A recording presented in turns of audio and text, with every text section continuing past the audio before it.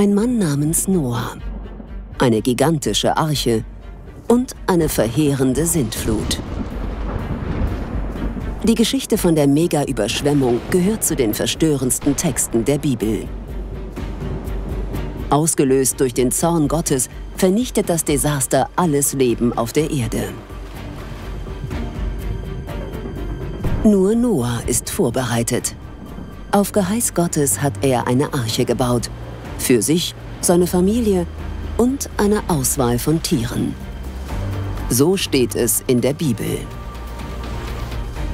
Die biblische Sintflut. Zu fantastisch, um wahr zu sein. Ist das Ganze nur eine Legende oder gibt es einen historischen Kern? Seit Jahrzehnten suchen Wissenschaftler aus aller Welt nach handfesten Hinweisen. Als Vorbild für die biblische Naturkatastrophe.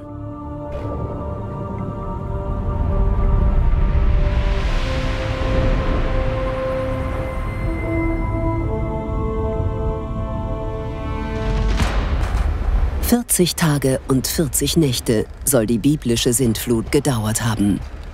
Nur Noah, seine Sippe und von jeder Tierart ein Paar haben sich auf eine Arche gerettet und bleiben von den zerstörerischen Kräften der Wassermassen verschont. Sie sind die einzigen Überlebenden einer Naturkatastrophe, die kurz nach der Erschaffung der Erde alles wieder zunichte macht. Das erste Buch Mose schildert das Chaos als Strafe Gottes.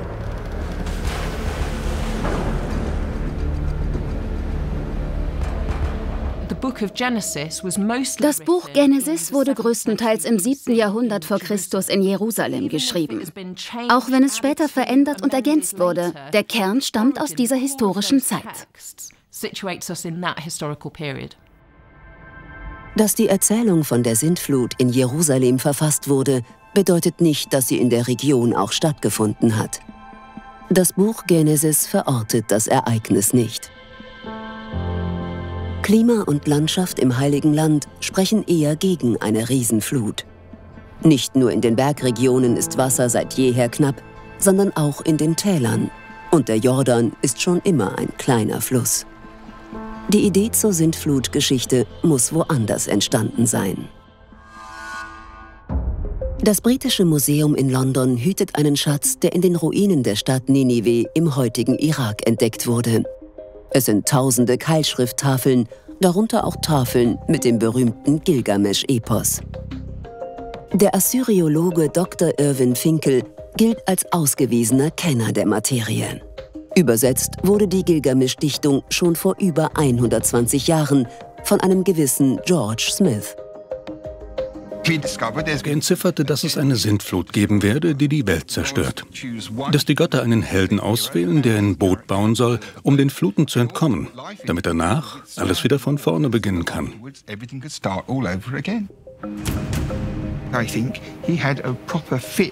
Ich glaube, er hat einen ziemlichen Schock, einen Text aus der Bibel, den er auswendig kannte, auf diesem merkwürdigen Objekt vorzufinden.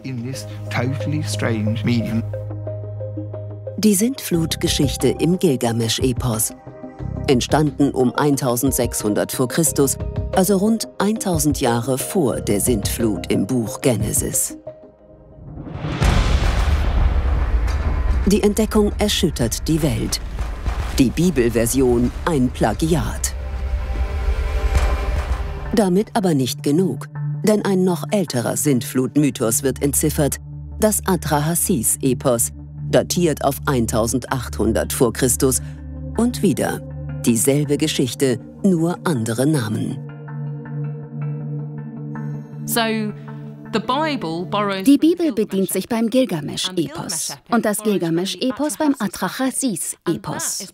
Wahrscheinlich die Niederschrift einer uralten mündlichen Erzählung, die noch weiter zurückreicht. Was aber wirklich spannend daran ist, all die literarischen Hinweise führen nach Mesopotamien. Dort müssen wir nach der Flut suchen. Die Zikurat der Stadt Ur im heutigen Irak vor rund 5000 Jahren ein blühendes Zentrum im Süden des Landes. 1929 glaubt der britische Archäologe Leonard Woolley, dort auf Spuren der biblischen Katastrophe gestoßen zu sein. Bei der Freilegung der Ruinen kommt eine fast drei Meter dicke Schlammschicht zum Vorschein, die ins vierte Jahrtausend vor Christus datiert. Doch seine Vermutung bleibt Theorie. Die Ablagerungen sind nur in Ur und der näheren Umgebung zu finden. Vergleichbare Schlammschichten in anderen Städten stammen aus unterschiedlichen Zeithorizonten. Sämtliche Überschwemmungen sind demnach lokale Ereignisse, ausgelöst durch Euphrat und Tigris.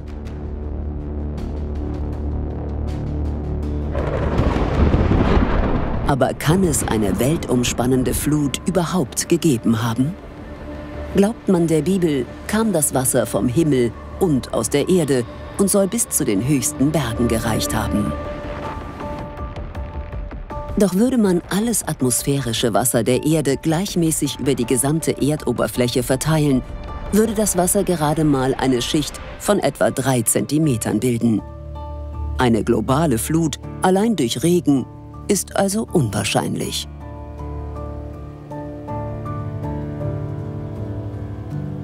Im Erdmantel aber gibt es ein gewaltiges Wasservorkommen, gebunden im Mantelmineral Ringwodit. Schätzungen zufolge könnte dort dreimal so viel Wasser wie in allen Weltmeeren zusammen gespeichert sein. Doch all das Wasser aus dem Erdmantel zu lösen und wieder dorthin verschwinden zu lassen, wäre wirklich nur durch ein göttliches Wunder möglich. Wissenschaftlich betrachtet kann die biblische Sintflut nicht stattgefunden haben. Man muss also herausfinden, wo der Mythos herkommt. Eine Spur führt zu einem Naturereignis, das tatsächlich weltweite Folgen hatte. Das Ende der letzten Eiszeit, als noch weite Flächen der Nordhalbkugel von Gletschern bedeckt waren. Vor über 20.000 Jahren sind in den Eisschilden gewaltige Wassermassen gebunden, weshalb der Meeresspiegel auf etwa 120 Meter unter dem heutigen Stand liegt.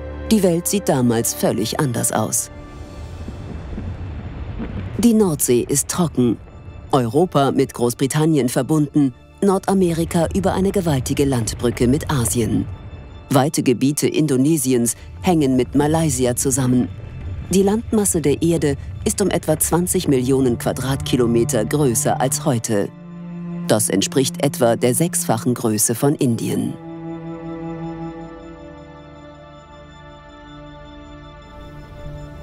Das Hauptproblem für die Menschen ist aber nicht nur die Kälte, sondern auch die extreme Trockenheit.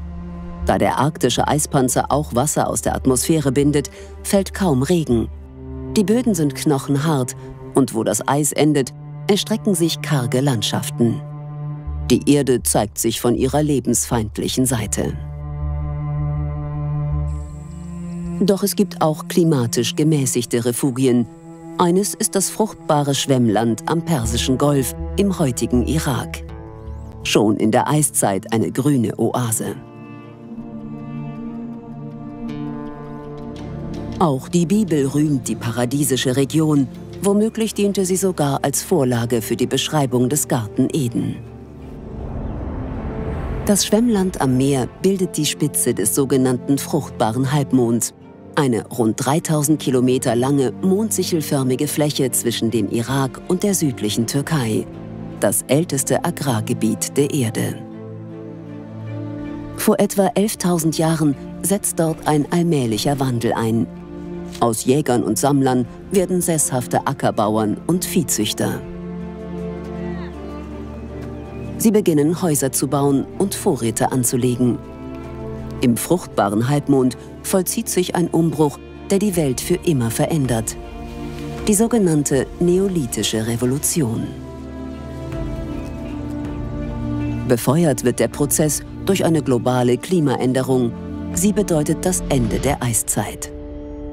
Die Sonneneinstrahlung nimmt zu, die Temperaturen steigen, das Eis beginnt zu schmelzen. Eine stabile Warmzeit setzt ein.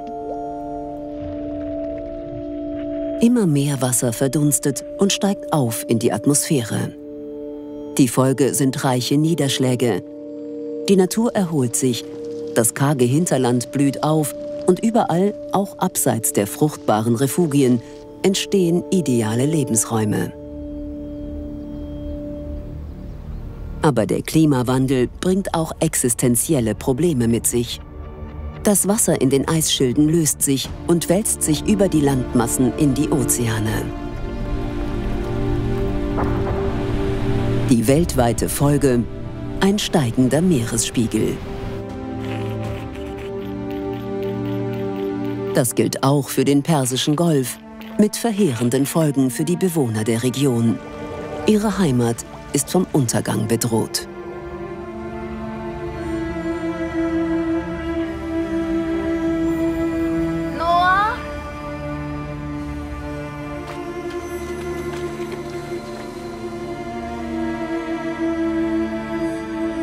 Der Meeresanstieg des Persischen Golfs vollzieht sich in mehreren Etappen. Ab etwa 12.000 vor Christus schiebt das Arabische Meer zunächst nur geringe Wassermengen durch die Straße von Hormuz. Im Laufe der nächsten Jahrtausende aber dringt immer mehr Salzwasser in das Gebiet. Bis etwa 4000 vor Christus wird das Land am Persischen Golf überflutet. In der Urangst des Menschen, den Naturkräften zu unterliegen, sehen Forschende das Motiv für die Geschichte der Sintflut, wie sie in den Epen aus Mesopotamien oder in der Bibel erzählt wird. Doch die Flutung des Persischen Golfs kann man nicht als Sintflut bezeichnen. Wo sonst aber könnte während der großen Eisschmelze das Ereignis stattgefunden haben? Die Suche führt ans Schwarze Meer. Ein Binnenmeer, das von vielen Flüssen und dem Salzwasser des Mittelmeers gespeist wird. Die Verbindung zwischen beiden Meeren stellen das Marmara-Meer und der Bosporus her.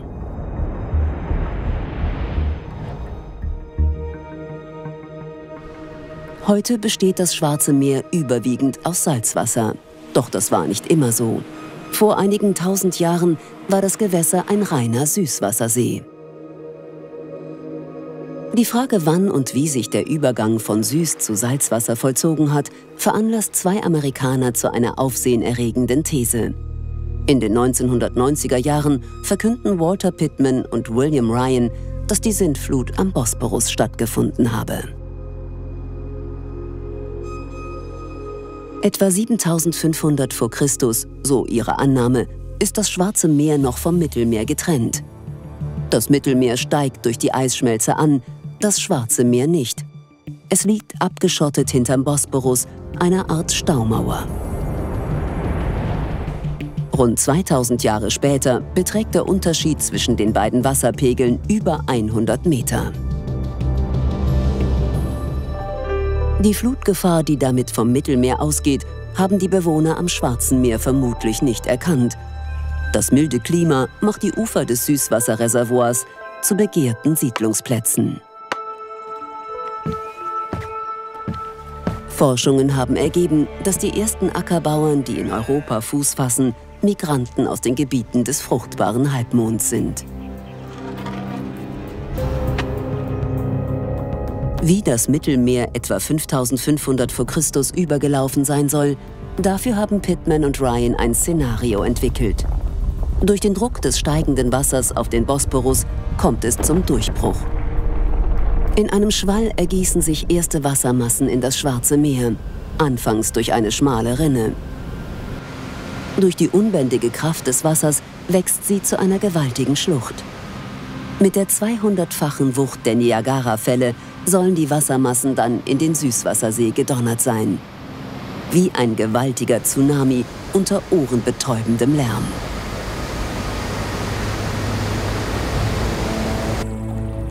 Als Folge, so die Vermutung, tritt das Schwarze Meer in rasender Geschwindigkeit über die Ufer und zwingt die Menschen zur Flucht.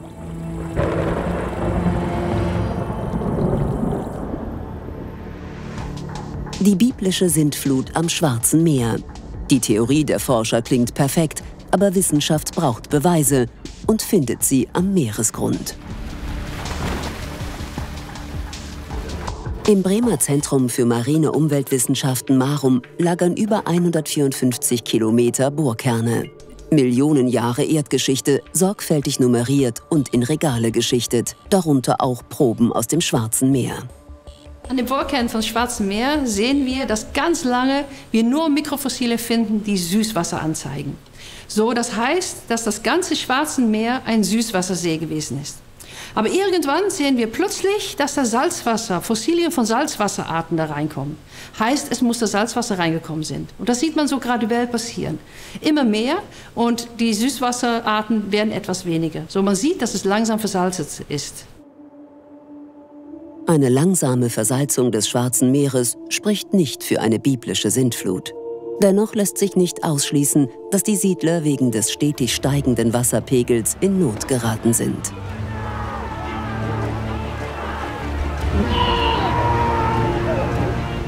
Wenn sich hinter dem Bibelmythos tatsächlich eine vorzeitliche Flutkatastrophe am Schwarzen Meer verbirgt, dann lassen sich dort vielleicht noch Siedlungsspuren entdecken. Das herauszufinden, hat sich das Black Sea Maritime Archaeology Project zur Aufgabe gemacht. Drei Jahre lang untersucht ein internationales Forscherteam den Grund des Schwarzen Meers. Ausgestattet mit dem besten Unterwasserequipment, das es zurzeit gibt, geht es in die Tiefe. Auf der Suche nach Spuren der Flutkatastrophe werden auch versunkene Küstenstreifen erforscht. Doch sämtliche Funde passen nicht zur Flutungstheorie. Was die Forscher aber herausfinden, der Prozess, in dem das Schwarze Meer vom Süßwasser zum Salzmeer wird, beginnt viel früher als von Pittman und Ryan vermutet. Hinweise, die diese Erkenntnis stützen, haben Wissenschaftler im Norden der Türkei entdeckt, in der Sofula-Tropfsteinhöhle, nur 20 Kilometer vom Meer entfernt. Seit vielen Jahren forschen dort Dr. Dominik Fleitmann und sein Team von der Universität Basel. Die Paläoklimatologen nutzen Tropfsteinhöhlen als natürliche Klimaarchive, um klimatische Auffälligkeiten in den unterschiedlichen Erdzeitaltern zu rekonstruieren. Die Experten konnten bereits nachweisen, dass Stalagmiten genauso präzise Informationen liefern wie Eisbohrkerne aus Grönland oder der Antarktis. Zurück in Basel wird das Fundstück aufgesägt.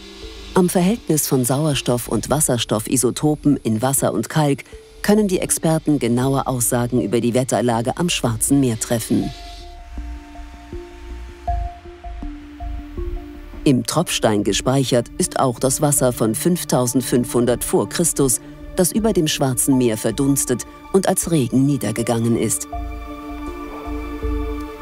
Die Frage lautet, ob das Binnenmeer damals, wie von Pittman und Ryan behauptet, sintflutartig über die Ufer getreten ist oder nicht.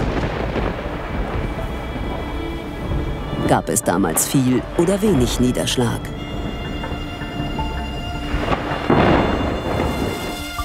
Um die Regenmenge zu ermitteln, wird der Tropfstein in kleine Stücke zerteilt und anhand seiner Jahresringe feinsäuberlich nach Jahrhunderten und Jahrtausenden sortiert. Das Team wählt den Zeithorizont von 7500 vor Christus und legt ihn damit deutlich vor die Datierung von Pittman und Ryan. Im Massenspektrometer wird die Probe unter enormem Druck gepresst, um das Wasser im Tropfstein herauszulösen.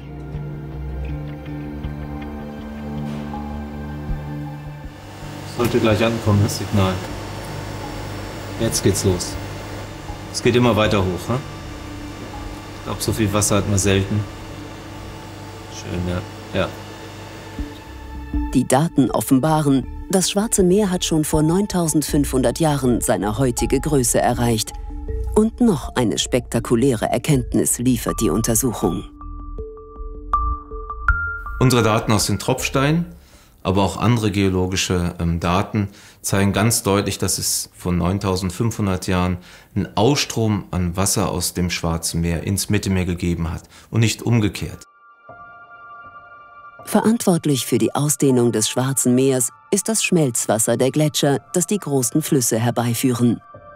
Ein Prozess, der wahrscheinlich schon ab 15.000 vor Christus beginnt.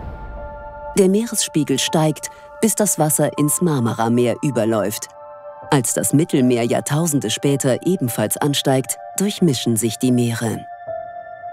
Dieser Prozess hat sehr lange gedauert, bis wir quasi das Schwarze Meer äh, komplett umgewandelt haben in ein brackisches Meer, wie wir es heute kennen. Denn man muss sich vorstellen, das Schwarze Meer ist ein riesiger Wasserkörper und wir haben nur den Zustrom durch diesen relativ engen Bosporus. Es ist so, als wenn man einen Pool auffüllen möchte mit einem Gartenschlauch. Es dauert einfach lange. Und so muss man sich das vorstellen, dass dieser Prozess über 2.000 bis 3.000 Jahre angedauert hat, bis diese Wassermaschen sich komplett ausgetauscht haben. Damit ist die Pittman-Ryan-Theorie, das Mittelmeer durchbricht den Bosporus und überflutet das Schwarze Meer, wissenschaftlich nicht länger zu halten. Gesichert ist aber, mit der großen Eisschmelze steigt der Meeresspiegel weltweit um 120 Meter an. Überflutungen sind die Regel. Das Schmelzwasser trennt Europa von Afrika, Japan wird zur Insel, genauso Indonesien und Australien. Nordamerika wird von Asien abgeschnitten. Die Erde verändert ihr Gesicht. Die globale Erderwärmung schreitet unaufhaltsam voran. Natürlich macht sie auch nicht Halt vor den Unmengen von Wasser, das noch im Eis gebunden ist.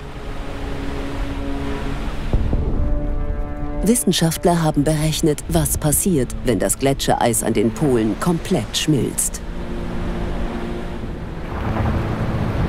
Ein Anstieg des Meeresspiegels um weitere 65 Meter wäre die Folge.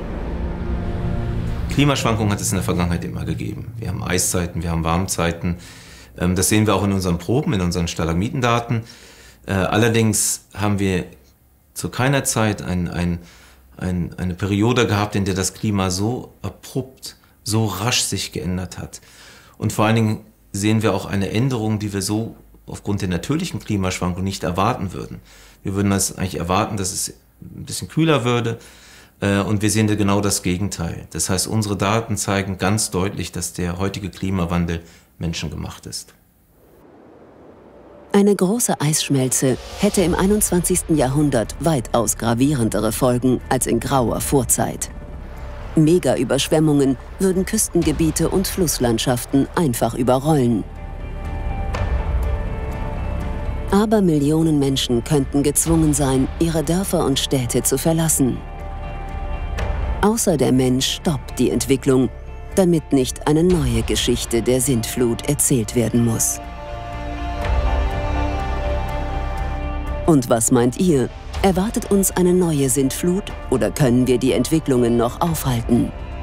Schreibt es uns in die Kommentare und wenn euch das Video gefallen hat, freuen wir uns über ein Abo und ein Like.